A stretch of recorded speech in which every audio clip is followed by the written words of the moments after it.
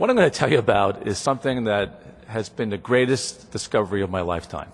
And I don't say that uh, with a grain of salt. I mean, it's been absolutely unbelievable. I just submitted two papers for publication, one to the probably one of the highest hot journals of the land, another in another journal. But this discovery of earthing and zeta potential has uh, literally uh, changed the whole way I look at illness. Um, for the past two or three years, I haven't been uh, here at the A4M lecturing. I'm just doing the module two. Uh, I've been on sabbatical for a couple of years. Uh, my, my son became very ill, and uh, it was, uh, earthing was one of the factors that brought him back. And uh, one of the reasons why I lecture on good vibes versus bad vibes is that electropollution was really the source of his illness, which really affects about 3 to 6 percent of people. it's a situation where uh, you're very sensitive electrically, and what happens is your, your receptor sites on your cells, they see the wireless coming in from cordless phones, uh, baby tooth monitors, uh, cell phones, computers, Wi-Fi, and what happens to your cells is basically the receptor sites see the, wi- the wireless coming in, it blocks the, uh, the, the uh, cell receptor, so it keeps out wireless, but it also keeps out hormones, vitamins, minerals, and uh, what happens is waste products increase, and then microbial, uh, microbial invasion uh, increases, and then all of a sudden the cell becomes sick and the voltage goes down, and then the organism uh, gradually deteriorates. But like what I've discovered, uh, it's only been in the last two years, uh, has been so groundbreaking that uh, we wanted to give you the book complimentary. I think you, will really enjoy reading this book. there's a lot of science in the book, and there's a lot of anecdotal cases as well. Um, I was in the same boat as Dr. Vagnini, and uh, I got cut 10 minutes too, so, so uh, I'm going to have to fly through th- some of these slides. And uh, I will be lecturing again at 6.30 tonight, uh, where I can focus more on the energy medicine. Today I want to focus more uh, on the earthing. So if we look at vibrational medicine, and what I'd like to get you to think about, not as a human being as protoplasm and enzymes and, and metabolics and biochemistry, which is all good, but, you, but we need to take it to a higher level. You need to think of the human being as an electrical organ. And it's no accident that I'm a cardiologist, with the heart being the most electrical of all organs. I mean, I used to, uh, when I was on call for cardiology, uh, on a cath lab, for example, and uh, it was a full moon, I used to dread it. And the reason why I dreaded it was because I would see people coming in with arrhythmia, hypertensive crisis, myocardial infarction, plaque rupture, all sorts of things. And I could never understand why.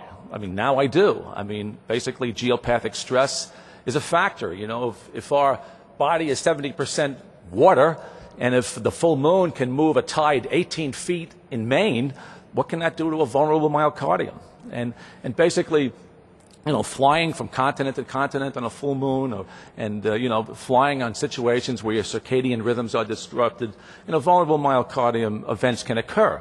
But I, can never underst- I never understood it years ago, but today it's, it's just crystal clear to me. So I want you to think of a human uh, or, the, or an animal, a mammal, you know, any living thing as uh, we're conglomerations of electromagnetic energy. Our cells transmit and receive energy and it's the exchange of energy from cell to cell. And we call that tensegrity. So um, if I have a practitioner working on my left elbow, it could be healing my right hip, you know, through the electro circuit or the matrix of the body.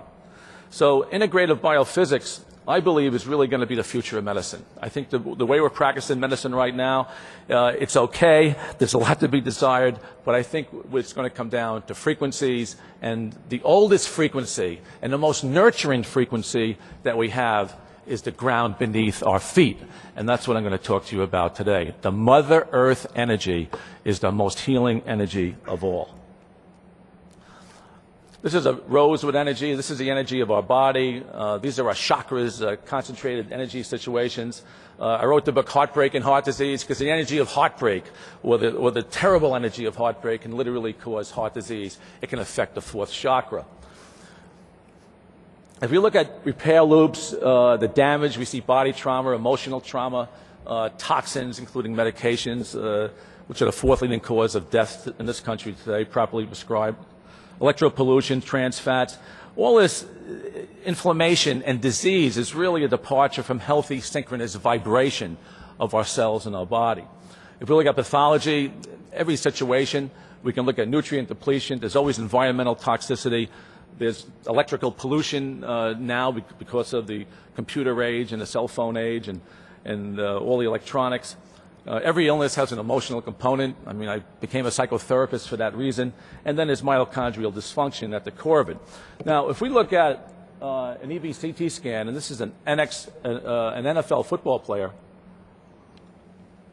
you can see that um, basically the plaque in his vessels. Now, hyperviscosity syndrome uh, occurs when our blood thickens, when our blood is like red ketchup.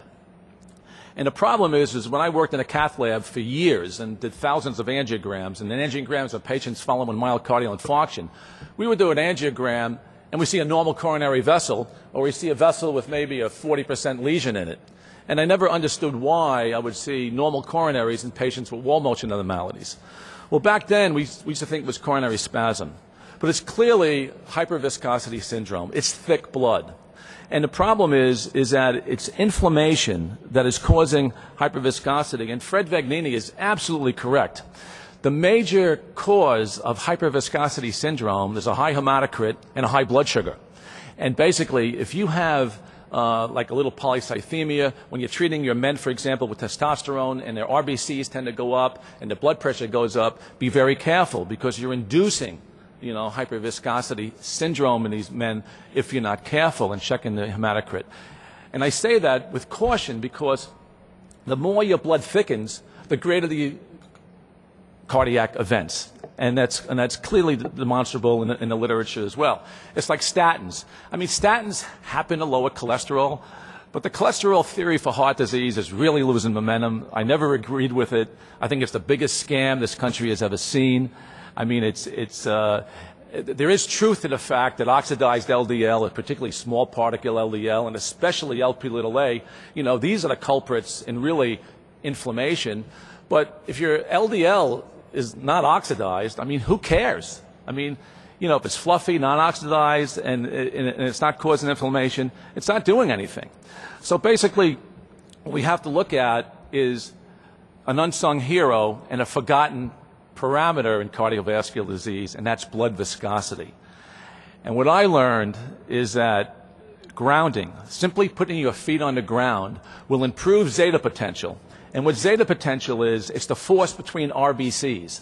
It's like if you're in a traffic jam and, uh, and the cars can't pass one another, that's rouleau formation of RBCs. But if the cars are passing one another on a highway, that's good velocity between those cars. So the greater the zeta potential, the greater the velocity between those RBCs, and the less the blood viscosity. And that's what you're really after.